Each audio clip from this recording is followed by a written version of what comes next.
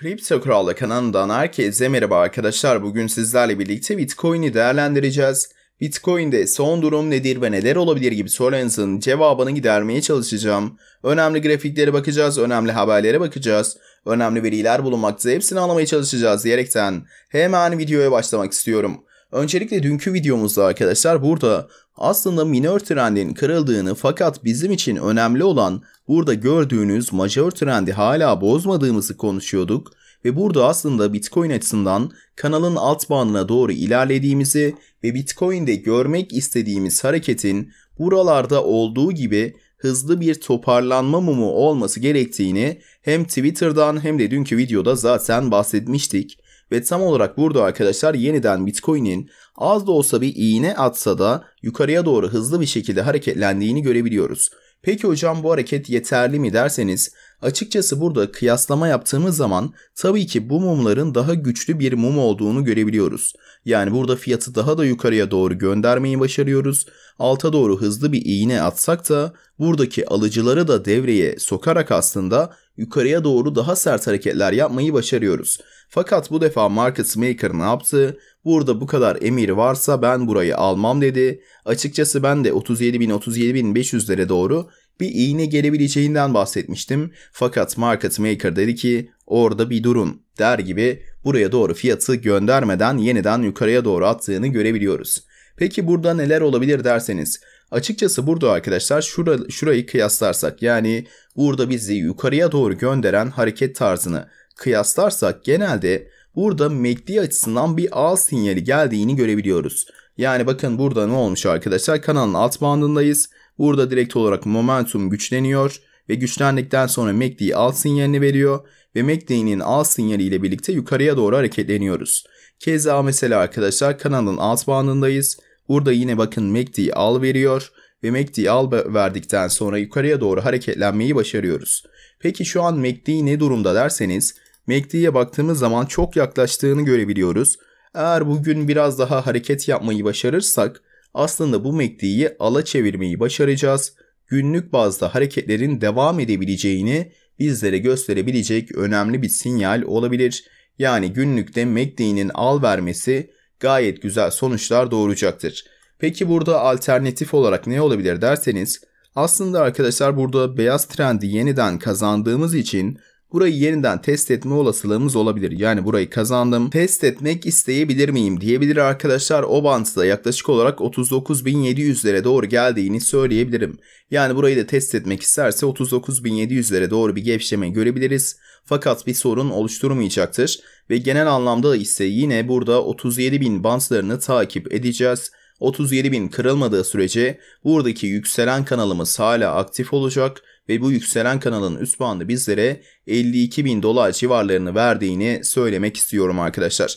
İsterseniz hemen bir diğer grafiğe geçiş yapalım. Bu grafiğimizde ise şu onay çok güzel olacak aslında. Yani 43 binin üstünde bir kapanış yapmamız Bitcoin açısından arkadaşlar hem buradaki yeşil bandı hem kırmızı bandı aynı anda almamızı sağlayacak. Hatta burada kırmızı ve yeşilin üst üste binmesinden dolayı bu direncin güçlü bir direnç olduğunu da söylememiz gerekiyor arkadaşlar. Burada baktığımız zaman bu direncin 43 bin e, seviyelerine doğru ilerlediğini de görebiliyoruz. 43 bin Bitcoin açısından hem kırmızıyı hem de yeşili yeniden kazanmamızı sağlayacaktır. Yeşili kaybettikten sonra kendimize gelemedik. Bakalım bu defa kazanabilecek miyiz? Yani aslında 43 binin kırılması güzel bir onay olabilir. Burayı takip edebiliriz arkadaşlar. Ardından burada baktığımız zaman Bitcoin yine alla devam ediyor. Yani ilginç bir şekilde Burada arkadaşlar iğneler geliyor. Şurada yine gelmişti. Burada yine gelmişti. 3 defadır burada sattan kurtulmayı başardık. Yani tam sat sinyali gelecekken aslında yeniden dönmeyi başarıyoruz. Bu da gayet güzel. Peki burası nereye benziyor olabilir derseniz bakın burayı dikkatlice inceleyin arkadaşlar. Burada ne olmuş aslında? Bulutun alt bandından destek almışız. Üste doğru ilerlemişiz. Tekrardan alt banda doğru gelmişiz. Peki burası nereye doğru benziyor? Hemen göstermek istiyorum sizlere. Burada baktığınız zaman ben tam olarak şuraya benzettim arkadaşlar. Yani burada bakın aşağı doğru gelmişiz. Üst bandı denemeye doğru gidiyoruz. Tekrardan alt bandtan destek alıyoruz ve üst bandı kırıp test ettiğimiz zaman hareketler sertleşiyor. Bakın burada da tam sat yakacakken yani bakın kırmızılaşıyor hatta tam burada sat sinyali böyle aktifleşecekken burada kırmadığımız için dönmeyi başarıyoruz. Bakalım Bitcoin yine bu hareketini tekrarlayabilecek mi? Ve bulutun üst çizgisi ise şu anda 42.300 civarlarında geziniyor. Yani aslında 43.000 üstünde bir gün kapatmamız önemli olabilir arkadaşlar. 43.000'i aldığımız zaman aslında burada bir minör bir V yapısı da oluşabilir. 43.000 önemli olacaktır. Hareketlerin ve momentumun devamlılığını sağlayabilir. Bunu tekrar tekrar söylemek istiyorum. Sonrasında burada MA600'ü yeniden kazandık ve gelen hareketin hacimli olduğunu görmemiz gayet güzel arkadaşlar. Çünkü bakın burada aşağıya doğru atmışız aslında fakat hafta sonu olduğu için hacimler çok anlamsız. Fakat burada hacimli bir kırılımın gelmesi gayet güzel ve burada retest konumlarının yine 39.800 bandı olduğunu söyleyebiliriz. Yani bunun altına at, üstüne yeniden attı. Burayı test edebilir mi? 39.800'ler önemli olarak duruyor. Sonrasında burada baktığımız zaman MACD açısından bakın beyazda ilerliyoruz arkadaşlar. Yani burada MACD'nin de kafası karıştı. Haftalıkta satmayaksam almayaksam diyor. Ve buradaki gibi bir olay olursa yani bakın burada da çok minör bir kırmızı yakıyoruz. O bölgeyi hemen açmak istiyorum.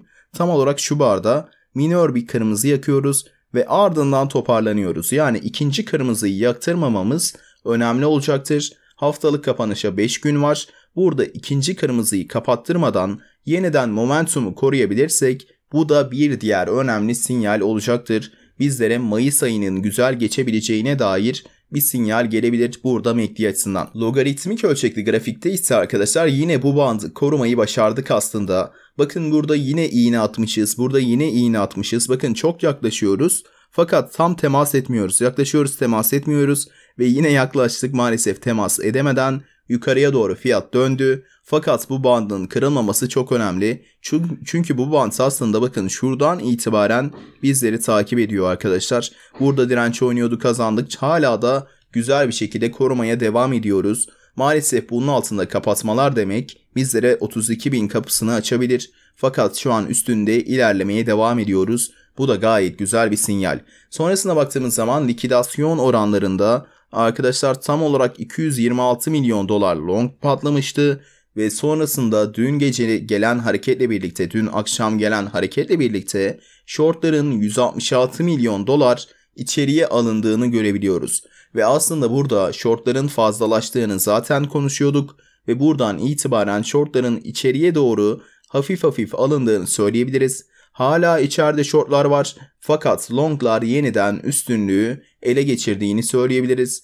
Benim isteğim şu olabilirdi tabii ki biraz daha burada kalmamız daha iyi olabilirdi. Bakalım market maker nasıl bir senaryo yazacak. Şu anda longların yeniden üstünlüğü ele geçirdiğini söylemek istiyorum. Bakalım bunu da takip etmeye devam edeceğiz. Ardından arkadaşlar Coinbase'den para çıkışları olduğunu görebiliyoruz aslında. Borsalardan güçlü para çıkışları geçmişlerde bize güzel pumpların gelebileceğine dair sinyaller vermişti.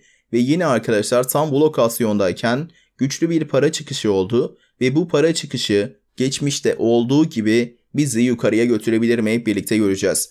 Ardından burada da fiyat hareketine baktığımız zaman bakın bu bölgeye bu bölgenin çok benzediğini görebiliyoruz. Fakat tersten yani burada oluşan yapının tam tersini burada fiyat hareketi olarak yapıyoruz. Burada bakın MSB dediğimiz yani market yapısının bozulması anlamına gelen olay meydana geldi aslında.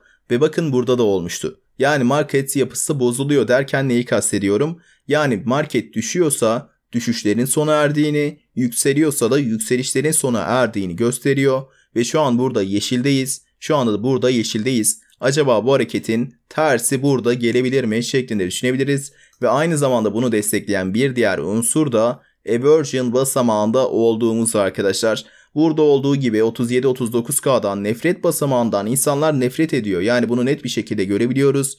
Ve market maker nasıl bir senaryo yazacak hep birlikte göreceğiz. Dediğim gibi 37K kırılmadığı sürece bu tablonun gerçekleşme olasılığı hala var arkadaşlar.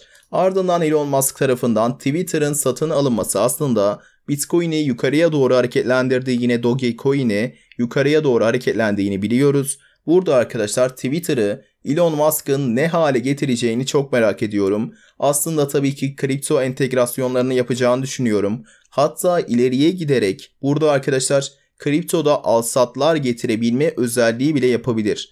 Yani Twitter'ı hem bir sosyal medya hem de bir borsa gibi bir özellik getirirse yani borsa şeklinde kullanılabilirse ya çok tuhaf yerlere doğru gidebiliriz. Bakalım bunu bu rally'nin hikayesi yani başlayacak olan bir rally varsa yine bunun hikayesi Elon Musk mı olacak hep birlikte göreceğiz. Sonrasında burada baktığımız zaman arkadaşlar bu haberle birlikte tabii ki küresel piyasalarlar piyasalarda e, direkt olarak etkileniyorlardı. Yani hem Covid tarafından hem Fed tarafından korku hakimdi ve Musk'ın Twitter'ı satın almasıyla birlikte oralarda da hareketlerin geldiğini söylemek istiyorum. Fakat gözlerin hala ABD'de açıklanacak olan faiz oranları ve aynı zamanda gelecek olan bilanço daraltmasıyla alakalı olduğunu söylemek istiyorum arkadaşlar. Burada baktığımız zaman aslında piyasanın beklentisinin 50 bas puan olduğunu görebiliyoruz. Hatta %98 oranında 50 bas puan geleceğini düşünüyor herkes. Bunu da görmek gayet güzel çünkü bunu da fiyatlıyoruz.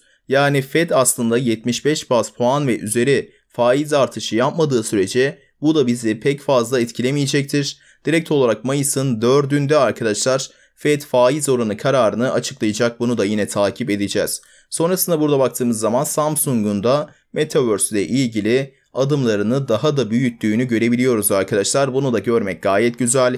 Bir yıllık hodl dalgasına baktığımız zaman onun %64.9'a doğru geldiğini görebiliyoruz.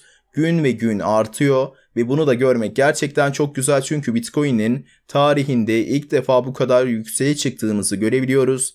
Bu da aslında gelecek olan dalganın ne kadar büyük olabileceğine dair bizlere bir sinyal veriyor. Burada göreceğimiz tablo artık ne olabilir derseniz belki yatay hareketler olabilir fakat sonrasında bu hodl dalgasının düşüşü ve ardından gelen fiyat hareketini beklemek gerçekten en önemli erdem olacaktır bana kalırsa. Sonrasında burada baktığımız zaman arkadaşlar 1000 Bitcoin'den fazla Bitcoin tutanlardan pek bir hareket göremiyoruz hala. Dün de fazla bir alım yapmadıklarını görebiliyoruz.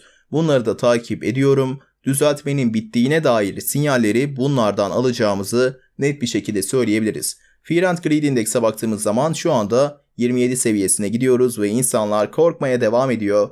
Videomuz bu kadardı. Sizleri seviyorum. Kendinize çok ama çok dikkat edin. Hoşçakalın. Görüşmek üzere.